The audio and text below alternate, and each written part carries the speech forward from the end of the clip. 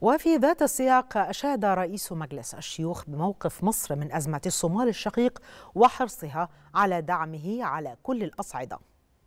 في ذات السياق يأتي موقف المصري النبيل تجاه أزمة الصومال الشقيقة والتي عانت وما زالت تعاني.